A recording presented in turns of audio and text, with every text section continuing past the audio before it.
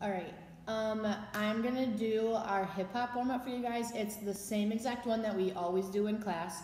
Um, all three of my hip hop classes. For my younger girls, um, stay at the slow pace. Um, and for my older girls, try to do it at a faster pace, but obviously still to the beat. Um, so one second, let me start the music.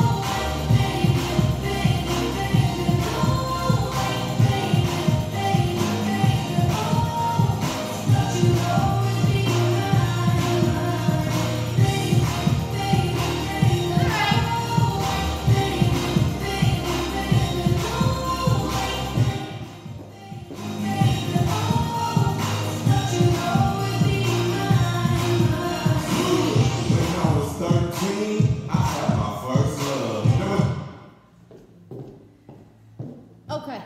Um, and also don't forget, if you have space in your house, I'm winded.